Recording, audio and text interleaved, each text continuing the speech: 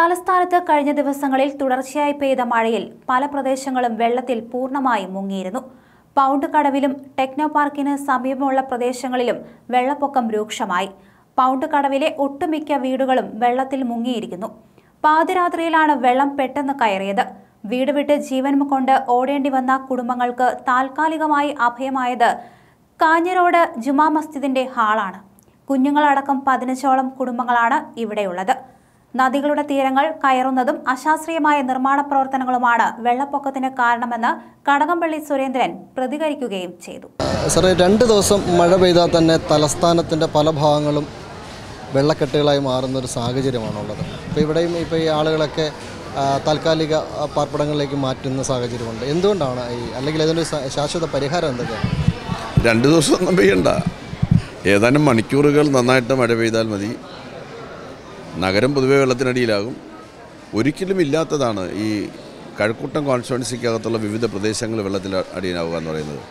ഇപ്പോൾ നമ്മുടെ ഓർമ്മയിലെ ഏറ്റവും വലിയ വെള്ളപ്പൊക്കം എന്ന് പറയുന്നത് രണ്ടായിരത്തി പതിനെട്ടിലെ മഹാപ്രളയമാണല്ലോ. ആ പ്രളയകാലത്ത് പോലും നമ്മളിപ്പോൾ നിൽക്കുന്ന ഈ പൗണ്ട് കടവ് പ്രദേശത്ത് അന്ന് കുറച്ച് കനത്ത വെള്ളപ്പൊക്കം ഉണ്ടായി എന്നുള്ളത് ഒഴിച്ചാൽ ഇപ്രാവശ്യം ഉണ്ടായിട്ടുള്ള വെള്ളപ്പൊക്കത്തിന് സമാനമായിട്ടുള്ള ഒരു അവസ്ഥ അന്ന് ഉണ്ടായിട്ടില്ലായിരുന്നു.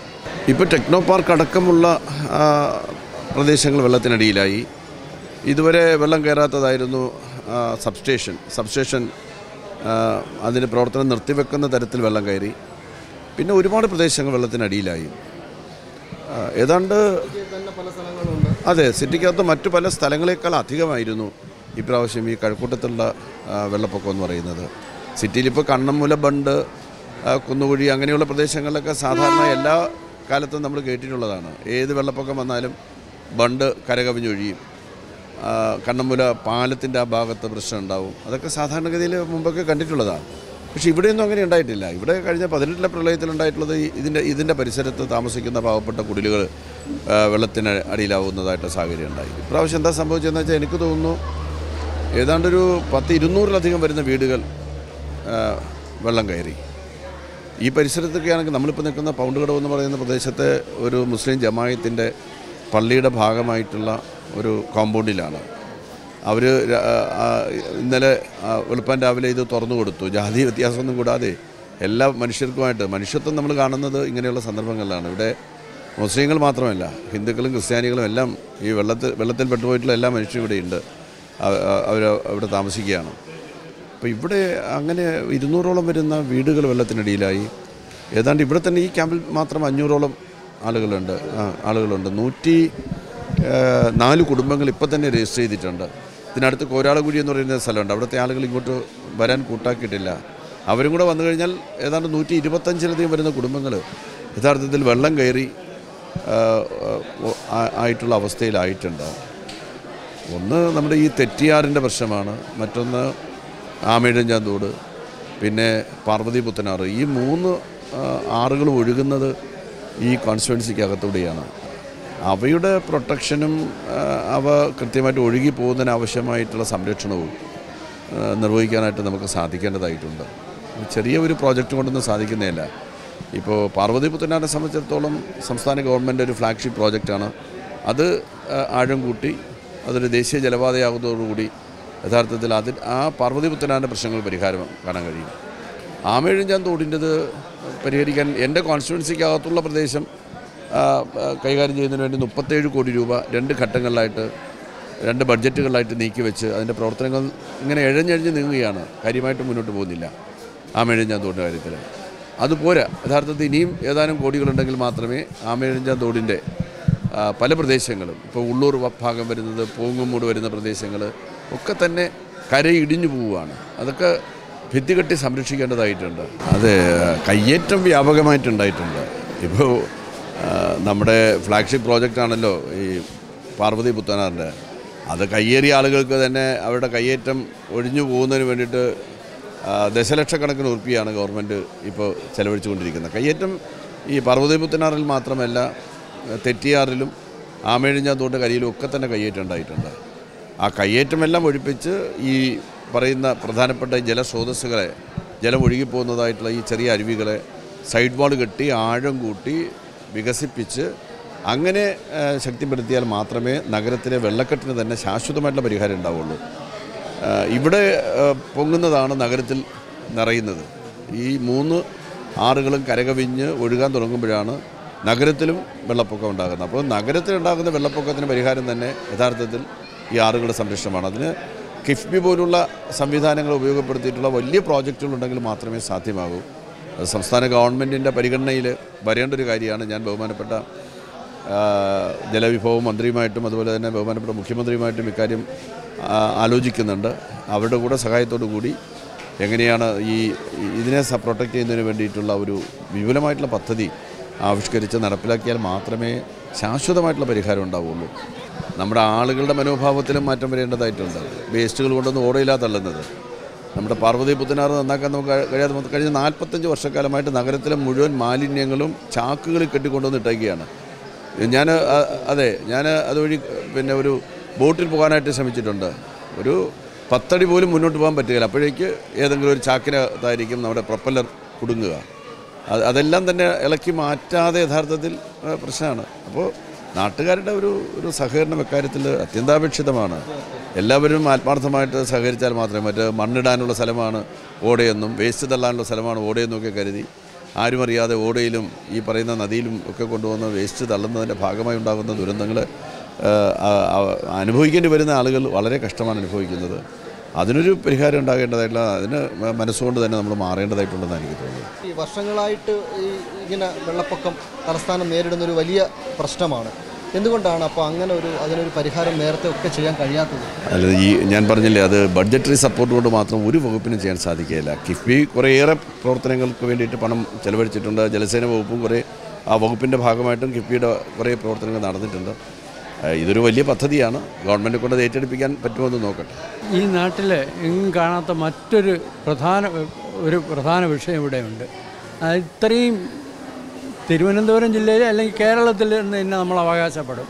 ഇത്രയും മതസൗഹാർദ്ദമായി കഴിയുന്ന ഒരു പ്രദേശം ക്രിസ്ത്യാനികളും മുസ്ലിങ്ങളും ഹിന്ദുക്കളും എല്ലാവരും അതിൽ എല്ലാത്തിലും ഉപരി രാഷ്ട്രീയമായി രാഷ്ട്രീയമായി കോൺഗ്രസ്സുകാരും കമ്മ്യൂണിസ്റ്റുകാരും ബി ജെ പിക്കാരും മുസ്ലിം ലീഗുകാർ എല്ലാ വിഭാഗങ്ങളും ഒരു പ്രശ്നമുണ്ടായാൽ ഇത്രയും ഒരു മനസ്സോടെ സഹകരിക്കുന്നത്. മറ്റൊരു മറ്റൊരു പ്രദേശമില്ല. അതൊരു അഭിമാനത്തോടെ തന്നെയാണ് ഞങ്ങൾ പറയുന്നത്. കേട്ടാ? അത് മറ്റെല്ലാവരുടെ ഏത് വിഭാഗത്തിൽപ്പെട്ട ആളുകളുടെ അടുത്ത് ചോദിച്ചിരുന്നാലും വളരെയധികം ആത്മസംതൃപ്തിയോടും അഭിമാനത്തോടും തന്നെയാണ് നമ്മൾ പറയുന്നത്. മാതൃക ആക്കണം പലയിടത്തും. ഏതൊരു വിഷയത്തിലും ഒരു ജാതിമത ഭേദമന്യേ രാഷ്ട്രീയ ഭേദമന്യേ എല്ലാവരും സഹകരിക്കുന്ന ഒരു പൊതുവായ പ്രശ്നങ്ങളുണ്ടായാൽ സഹകരിക്കുന്ന ഒരു അതിൽ നമ്മൾ അഭിമാനം കൊള്ളുന്നവരാണ്. അത് തന്നെയാണ്. മറിച്ചൊന്നും ചിന്തിക്കൂല ഇവിടെ. അതാണ് ഈ നാട്ടിന്റെ പ്രത്യേകത ഈ പൗണ്ട് കടവിന്റെ പ്ര- പ്രത്യേകത. ആ മൂന്ന് റോഡിൽ കൂടി അതിശക്തമായി വെള്ളം ഒഴുകി നമുക്ക് ആർക്കും തന്നെ പുറത്തിറങ്ങാൻ പറ്റാത്തൊരവസ്ഥ അതായത് ഒരു രോഗിക്ക് പോലും കൊണ്ട് നമ്മൾ പുറത്ത് ആശുപത്രി കൊണ്ട് എത്തിക്കാൻ പറ്റാത്ത പറ്റാത്തൊരു ഒരു അവസ്ഥയാണ്. വർഷം വർഷം ഞങ്ങൾക്ക് വെള്ളം വരും. വെള്ളം വരുമ്പോൾ ഇപ്പൊ കഴിഞ്ഞ പ്രളയത്തിൽ ഇങ്ങനെ തന്നെയായിരുന്നു. വെള്ളം വന്ന് ഞങ്ങളുടെ വീട് മൊത്തം നശിച്ചിട്ട് ഞങ്ങൾക്ക് അവിടെ ക്യാമ്പിൽ കൊണ്ടുപോയി അവർ ഞങ്ങൾക്ക് ഭക്ഷണം തരണുണ്ട് എല്ലാം തരണുണ്ട്. അത് കഴിഞ്ഞ് ഞങ്ങളെ തിരിച്ച് വീട്ടിൽ ഇവിടെ പറഞ്ഞു വിടും. ഇവിടെ വന്ന് ഞങ്ങൾ ഈ ചെളി എത്രയും കഴുകി എങ്ങനെയെങ്കിലും ഞങ്ങൾ ഉണക്കി നശിച്ച കാര്യങ്ങൾ അത്രയും ഞങ്ങൾ വളരെ എന്തുമാത്രം കഷ്ടപ്പെട്ടില്ല ഞങ്ങൾ വീണ്ടും അതിനെ എങ്ങനെയും പുതുക്കി പണിത് കൊണ്ടുവന്നപ്പോഴത്തേക്ക് അടുത്ത വെള്ളം കയറി. വീണ്ടും അതെല്ലാം നശിച്ച്. അവർ തരണം എന്തിനാണ് ഈ വില്ലേജ് ഓഫീസറായാലും ഈ മന്ത്രിമാരായാലും വന്ന് കണ്ട് സംസാരിച്ച് തരണം രണ്ടായിരം മൂവായിരം അയ്യായിരം നമുക്ക് തരാം. ഞങ്ങൾക്ക് എന്തിനാണത്? അതുകൊണ്ട് ഞങ്ങൾക്ക് ഒരു പരിഹാരം കിട്ടുമോ? അപ്പൊ ഞങ്ങൾക്ക് അതൊന്നും വേണ്ട. ഞങ്ങൾ ചെയ്യാനുള്ളത് ഇവർ ഇത്ര. ഇവർ മഴ സമയം ആകുമ്പോഴത്തേക്ക് അവർ തോടുകളെല്ലാം വൃത്തിയാക്കുക. തോടിന്റെ ആഴം കൂട്ടുക. അതായത് നമുക്ക് വേണ്ടത് ഇതിന് ശാശ്വതമായിട്ടൊരു പരിഹാരമാണ്. അല്ല താൽക്കാലികം നമ്മളെ ഷെഡി കൊണ്ടിട്ടിട്ട് നമുക്ക് ഭക്ഷണം ഒരു കാര്യമില്ലല്ലോ. മെഡിസിറ്റിക്കാർ വന്ന് അവരുടെ ഭാഗം അവരവിടെ മണ്ണടിച്ച് പൊക്കി ഇപ്പൊ അവിടെ നിന്ന് അങ്ങോട്ട് വെള്ളം പോകാനായിട്ട് ഒരു വഴിയില്ല. ഇപ്പൊ അത് ആ വെള്ളം കൂടെ ഇങ്ങോട്ട് വന്നാൽ ഞങ്ങൾക്ക് ഇത്രയും ശല്യമായിരിക്കും വർഷാവർഷം ഈ നരകയാതന ഞങ്ങൾക്ക് അനുഭവിച്ചുകൊണ്ടിരിക്കുകയാണ് അനുഭവിച്ചോണ്ട് ഞങ്ങൾക്ക് ഇനി അനുഭവിക്കാൻ പറ്റൂല. ഞങ്ങൾ ഇനി എന്ത് ചെയ്യണമെന്നുള്ളത് ഞങ്ങൾക്ക് അറിഞ്ഞുകൂടാ. വെള്ളം തോട്ടിന്റെ കര ആ പാലത്തിന് താഴെയുള്ള എന്റെ വീടാണ്. അത് അത്രയും മുങ്ങി സകല സാധനം പോയി. ഞങ്ങൾ ഒരു സാധനം പോലും ഒരു നമുക്ക് വേണ്ടപ്പെട്ട ഒന്നും എടുത്തില്ല. നിന്ന നിലയിൽ ഇറങ്ങിയപ്പോൾ ഇത്ര വെള്ളം. പിന്നെ അവിടെ നിന്ന് വല്ല ഇതിനെ എടുത്ത് രാത്രി രാത്രി ഒന്നര ഒരു ഒന്നര മണിയാവും. അപ്പോഴാണ് ഈ വെള്ളം വന്ന് കയറിയത്. അവിടെ നിന്ന് പിന്നെ നമ്മൾ എങ്ങനെയെങ്കിലും ഞങ്ങളെ രക്ഷപ്പെടുത്തി എടുക്കാൻ വേണ്ടിയിട്ട് എന്റെ ഭർത്താവിന് കാൽ വയ്യാത്ത കാ വീട്ടിൽ കിടപ്പായിരുന്നു. ആശുപത്രിയിൽ കൊണ്ടുപോയിട്ട് കിട അവർക്കും ചകലമായി പിന്നെ എന്നെ എന്റെ വീട്ടിൽ ഒരു പയ്യൻ ഉണ്ടായിരുന്നുകൊണ്ട് ഞാൻ രക്ഷപ്പെട്ടതാണ്. അങ്ങനെ ആ പയ്യനാണ് എന്നെ വലിച്ചിഴച്ച് കൊണ്ടുവന്ന് വെള്ളത്തിൽ തന്നെ ഇട്ട് ഇഴച്ചാണ് കൊണ്ടുവന്ന് അപ്പുറത്താക്കിയത്. ആക്കിയിട്ട് പിന്നെ പിന്നെ എന്റെ ഭർത്താവിനെ രക്ഷപ്പെടുത്താൻ വേണ്ടിയിട്ട് എന്റെ മോനെയും കൂടെ പോയി വിളിച്ചോണ്ട് പോകണം വിളിച്ചിട്ട് വിളിയാക്കൂല. ഭയങ്കര അലർച്ചയില്ല മഴ. പിന്നെ അങ്ങനെ ഭയങ്കര കഷ്ടപ്പെട്ടാണ് പിന്നെ മോൻ എങ്ങനെ വന്ന് ഈ മഴയറിയത് കണ്ടോ? പിന്നെ വന്നാണ് ആ വാപ്പായും കൊണ്ടൊന്ന് അപ്പുറത്തുണ്ടാക്കിയത് അത് തന്നെ ഉള്ളത്. ഞങ്ങളെല്ലാം ഒരു സൂചന മുതലും ഞങ്ങൾ എടുത്തിട്ടില്ല. ഓ? മുംബൈ വരും. എന്നാലും ഇങ്ങനെ വരൂല. ഇപ്പം ഈ അധികമായുള്ള ഇത് തന്നെ വന്നത്. ഇപ്പോഴാണ് വന്നത് കേട്ടോ. വന്ന് ഞങ്ങളുടെ സമൂല സാധനവും പോയി. ഇനി അതിനകത്തൊന്നുമില്ല. പോയി നോക്കിയിട്ട് അത് കണ്ട് അത് എഴുതി ഞങ്ങൾക്ക് എന്തെങ്കിലും മനസ്സായിട്ട് ചെയ്താൽ മതി. അല്ലാതെ ഞങ്ങൾക്ക് അത്യാഗ്രഹം ഒന്നുമില്ല. ഞങ്ങൾ രണ്ടെണ്ണം രണ്ടെണ്ണം ഞാൻ ഒരു ക്യാൻസർ രോഗിയും കൂടെയാണ് കേട്ടോ. പിന്നെ പല രോഗമുണ്ട്. ബി പി ഉണ്ട് ഷുഗർ ഉണ്ട്. ഇതിനെല്ലാത്തിനും ആ ഗുളികൾ പോലും എടുക്കാതെ എടുക്കാതെ ഞങ്ങൾ ഓടിയത് ഫോൺ പോലും എടുത്തിട്ടില്ല. ഒന്നും എടുത്തില്ല. ഇന്ന് നിന്ന് എഴുത്തപ്പം കണ്ണ് മഞ്ചിപ്പോയി വെള്ളം കണ്ട്. അങ്ങനെ അതോടെ പിന്നെ എങ്ങനെയും ജീവൻ കൊണ്ട് രക്ഷപ്പെട്ട് ഇറങ്ങുമെന്ന് പറഞ്ഞുകൊണ്ട് ഓടി രക്ഷപ്പെട്ട് ഇവിടെയാണ് ചെയ്തത്. സാധാരണ വെള്ളം വരുന്നത് തന്നെയായിരുന്നു. അപ്പോൾ രാത്രി ഒരു രണ്ട് മണിയൊക്കെ ആയപ്പോൾ വീട്ടിനകമൊക്കെ ഫുള്ളായിട്ട് നിറഞ്ഞ് നമ്മൾ പിന്നെ അവിടെ നിറഞ്ഞ് ഇറങ്ങി വേറെ വേറൊരു വീട്ടിൽ പോയി ഇരുന്നു പി- ആ രാത്രി വേറൊരു വീട്ടിൽ നിന്ന് വെളുപ്പാൻ രാവിലെ ആറ് മണിയായപ്പോൾ ഇവിടെ നിന്ന് പിള്ളേരൊക്കെ വന്നാണ് നമ്മളെ ഇക്കരെ കൊണ്ട് നമ്മൾ ഇത്ര വെള്ളം ഉണ്ടാകും നമ്മളെ കുരകളേറ്റ വെള്ളം. നമ്മളെ വീട്ടിനകത്ത് കിടന്ന പാത്രങ്ങളെല്ലാം വെള്ളം കൊണ്ടുപോയല്ലോ ഇനി വീട്ടിൽ ചെന്ന് എല്ലാം കട്ടിൽ അലമാര എല്ലാം വെള്ളത്തിൽ തന്നെ. വെള്ളം കൊണ്ട് പോയാൽ നമുക്ക് അങ്ങോട്ട് പോകാൻ പറ്റില്ല. നമ്മളിന്ന് രാവിലെ അവിടെ ചെന്ന് നോക്കി.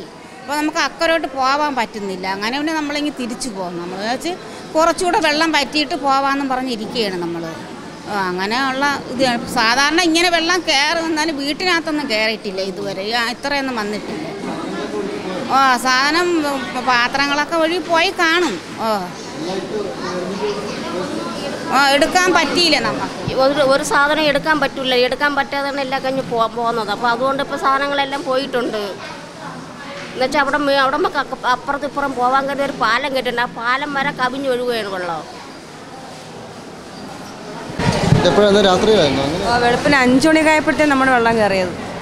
പറഞ്ഞു തരുമ്പോൾ വെള്ളം ഞങ്ങൾ ഉറങ്ങി കിടന്ന് വെള്ളം വീണാണ് ഞങ്ങൾ എണീറ്റത്. പിന്നെ ഒന്നും നോക്കില്ല പെട്ടെന്ന് തന്നെ സാധനങ്ങളൊക്കെ ഇറക്കി എടുത്തിട്ട് ഇങ്ങനെ ഇറങ്ങി വരികയാണ് ചെയ്തത് അപ്പോൾ ഒന്നും എടുക്കാനോ ഒന്നിനും പറ്റിയിട്ടില്ല. അപ്പോൾ കുറച്ച് വെള്ളം ഇറങ്ങിയെന്ന് പറയണേ പോയി കണ്ടില്ല. വീടിന്റെ ഏകദേശം പൊക്കത്തിനുള്ള വെള്ളമുണ്ട്. കാലിന്റെയൊക്കെ അത്ര അത്രയ്ക്കുള്ള വെള്ളം ഉണ്ടായിരുന്നു.